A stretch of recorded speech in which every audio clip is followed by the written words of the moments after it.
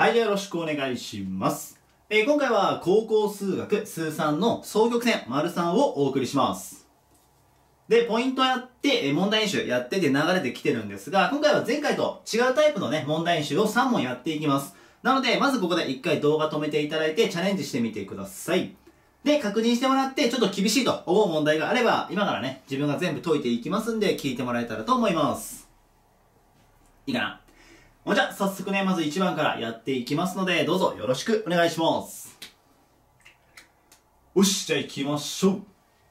で、今回は双曲線の方程式求めていきます。で、まあ、ごちゃごちゃ最初にこう書いてあるのは、この後、次回からね、平行移動していきます。こう、普通に、今んとこめ勉強した双曲線って、まあ、このタイプか、まあ、間違えた。このタイプになるんですけど、これが平行移動する。で、その平行移動した、平行移動したものじゃない。今の時点でみんなが勉強してるやつで考えてねって言ってます。原点中心で、X 軸、もしくは Y 軸、主軸って言ってるんでね。で、さっき言ったように、まあ、左右タイプと上下タイプに分かれるんですけど、一応復習で、標準形は、双曲線、これが固定ね、左辺が。ここがマイナスです。で、1になれば左と右のこのタイプ。で、ここが、マイナス1になると上と下のタイプになります。双曲線は。で、どっちのタイプなのかっていうのを問題見て見極めていく必要があります、今回は。で、まず1番からやっていくと、2.60、マイナス60からの距離って言ってるから、こいつら焦点なんだよね。で、焦点が60、つまり X 軸に乗ってる時点で消さなきゃよかったね。このタイプになります。焦点が X 軸にこうやって乗ってるから。60マイナス60。で、ポイントの動画ね、丸1番のこの1番の動画の時にもやりましたけど、焦点、まあ、C って使えますが、今回双曲線に関しては、座標っていうのは、これを使うんだよね。焦点、このタイプだったら、a2 乗プラス b2 乗、ルートのね、の0がここの座標になります。ここね。で、それにマイナスつけたものがこっちになる。ってなってるので、60通ってる時点で、こいつが、6っていう1個の式がゲットできます。焦点が分かってることによってね。で、もう1個。距離の差が8って言ってます。これもポイントでやったんだけど、左右のタイプっていうのは距離の差は 2a なんです。上下タイプだったら距離の差は 2b です。で、今、左と右、このタイプって分かってるから、じゃあ 2a 使っちゃおう、距離の差がね。つまり、2a イコール8って、2つ式がゲットできた。じゃあ、あとこれ解いて終わりにしよう。って問題。で、見て分かるように、結局 a2 乗と b2 乗が分かればいいので、それを求めに行きます。で、下の式。こっから、これはすぐ、a イコール4って分かるから、これはいいよね。で、この a イコール4をこの上に代入する。そうすると、まあ2乗なんで16ね。プラス b2 乗。で、このルートが6になります。で、両辺2乗してもらって、16プラス b2 乗イコール36。で、移行すると b2 乗イコール20ってなります。で、さっきも言ったように2乗が分かればいいので、これをわざわざ b を出さなくても大丈夫です。で、a、まあね、a が分かったことによって、括弧 a2 乗イコール16だよね。つまり a2 乗と b2 乗両方分かったと。で、左と右タイプって分かってるので、右辺は1のこっちを使います。標準形の。で、あとは代入して、えー、っと、16分のって入ってる分の x2 乗、マイナスね。ここプラスにすると大になっちゃうからね。20分の y2 乗イコール1です。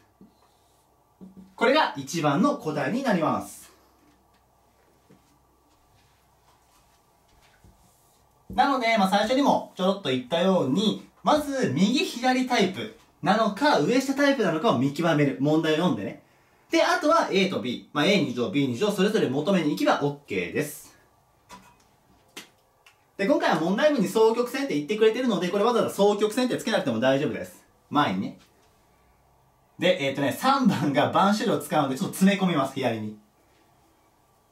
で、次は、全近線が分かってるタイプ。二直線。まあ、全近線分かってて、あとこいつを通るよっていう。で、全近線。まあ、全近線が何かっていうのはポイントでやったんで、はしょりますけど、全近線は、左右タイプ、上下タイプ、どっちにしても、ここの数字。あ、プラスの方で考えるよ。2x の2のところは、a 分の b なんです。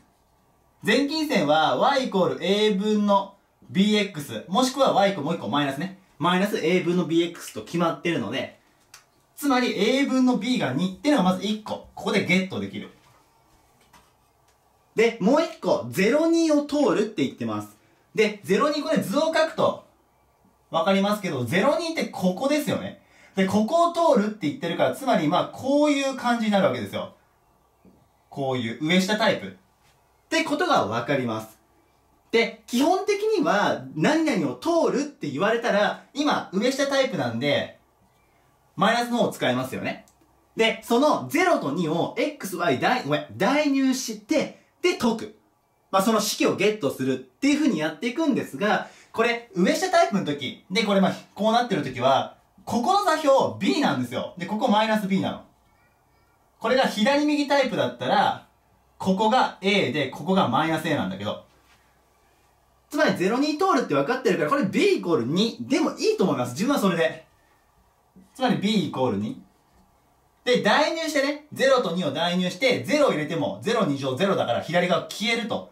で、ここに2入れると、マイナス B2 乗、あ、ごめん、2乗分の4。これ今、えっ、ー、と、2を代入して4ね。イコールマイナス1って式がゲットできる。で、これは、まあ、両辺マイナスかけると、まず消えますよね。で、これ解くと、で、これ、まあ、解き方いろいろあると思うんですけど、両辺 b2 乗かけてしまって、b2 乗イコール4になります。こっちに b2 乗かければ当然 b2 乗。こっちにかければ消えるからね。で、解くと、本当は b イコールプラスマイナス2になります。これ解くと。でも、今 A と B はプラスで考えていくので、つまり B イコール2みたいな。うん。でもな、ここは図から想像できるんでね、自分はこうやってやっちゃうんですが。で、口頭で戻ります。ちょっと汚くなっちゃった。ちょっと拭いていい？で、この、すごいね、シンプルな2つの式をゲットしたと。で、B 分かってるので、あとはここに2を入れて、A 分の2イコール2。で、これ解くと、A イコール、えー、1か。が分かったので、じゃああとは、もうね、右辺はマイナス1のタイプ。上下タイプって分かってるから、A が1なんで1入れると、x2 乗。で、B が2、ここに入れると、マイナス4分の y2 乗イコールマイナス1ね。これで終了となります。まあ、前近線出てきたらこの A 分の B 使ってください。で、どこどこ通るって言われたら、えっ、ー、と、まあ、基本的には代入なんですが、今回に限っては図で言ってしまいます。といった感じ。で、3番です。詰め込みましたね。だいぶね。ちょっといっぱい使います。で、3番は一番シンプルなんです。問題としては。だって2点これとこれ通るって言ってるだけだから。で、あのー、連立方程式で、その時ねや、えっ、ー、と、中学の時の関数とかのイメージなんですが、どこどこ通るって言われたら基本的に代入すればいいんですよ。で、2点通るって言われてるから、それぞれ代入して解いてたらいけるぜ。で、それでいいの、本当に。いいんだけど、3番何が困るって、右左タイプか上下タイプかがわからないんです、これだと。これはどっちかが、例えば30とか04みたいな。分かってれば、どっちかがゼロだったらね、その場所通るんで、もう上下タイプ、右左と右左タイプ。わかるんですけど、これわかんないんですよ。だからそれぞれやります。で、今回板書の関係で途中式きっちり書かないんですが、えっ、ー、と、ちゃんと書くんだったら、まずね、えー、っと、まあ、左辺は変わらないからこうなんだけど、まず1にして、左と右、このタイプで考えていきますと。だから、これ、が、この2点を通るとするみたいな書く。いいね。で、今はちょっとはしょるんで、これについて考えてるって分かるようにこうします。こっちで考える。その時にまずこれとこれ通るから、あとは代入です。で、ルート2と2を入れると、a2 乗、ちっちゃかったらごめんね。2乗して2です。マイナス b2 乗分の、これ2乗すると4。イコール1。で、これももう一回代入します。で、マイナスルート5代入、えっと、2乗すると5なんで、a2 乗分の5、マイナス、マイナス4を入れると、b2 乗分の16イコール1。この連立方程式解きます。うわ、めんどくさって感じるかもしんないんですけど、これは、えっと、上の式に4かけましょう。そうすると、一応こっちはちゃんとやろうか。かけると、8、えっ、と、16イコール4だよね。で、b2 乗分の16が揃うので、引きます。こっから。で、引き算すると、これからこれ引けば、a、こっちらこう。a2 乗分の3が残る。で、ここ消えて、4引く1だから3ってなる。いいかな？揃いやすい方を揃えてください。で、これ解くと、a2 乗イコール、えっ、ー、と、1か。こうなります。で、えっ、ー、と、2乗が分かったんで、まあ、どっちとかの式に入れてもらえばいいんですけど、まあ、上に入れましょうか。ここ、a2 乗に1入れると、1分の2なんで、2マイナス b2 乗分の4イコール1になります。で、まあ、これこっちに持ってくると、くっつけてマイナス1だよね。では、マイナス同士で処理してこうなります。だから、b2 乗イコール4になります。まあ、また両辺 b2 乗かけるイメージで言ってください。つまり b2 乗イコール4だね。で、a2 乗も b2 乗もきっちり出てきたんで OK なんだよ。で、最初に置いたのがこの式だから、じゃああとは代入してこれで OK ですっていう。まあ、一応書いておこうか。つまり、x2 乗マイナス、えー、4分の y2 乗イコール1と1個。これで答えをゲットしましたと。いいかなで、同じこと、同じことっていうか同じ流れのことをもう一回やります。で、次は、ちょっと上から行こうか。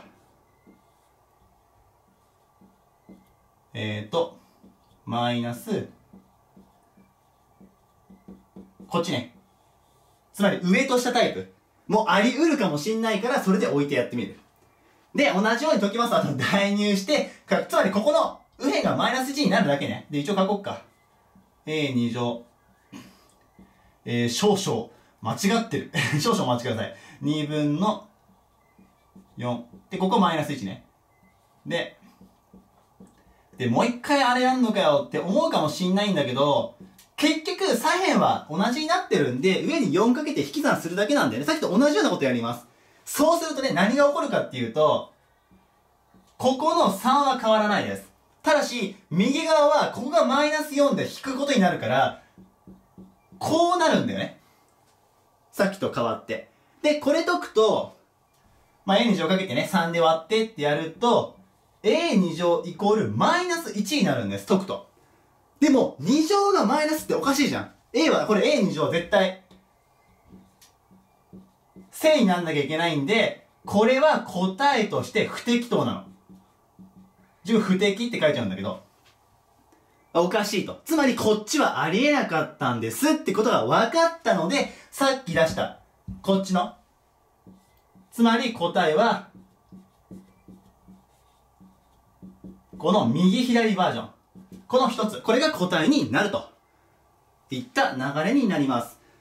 つまり、まあ1番と2番に関しては問題を見て、まあ図で書いて想像しても構わないけど、その右左タイプなのか、上下タイプなのかが分かるんで、それで勝負していく。ちゃんとそこをね、見極めてね。ただし3番に関してはそれが分からないので、両方それぞれ置いて解いてみて。で、片方は不適当だったんで、じゃあ、OK な方だけ答えで書きましょうと。いった流れで解いてください。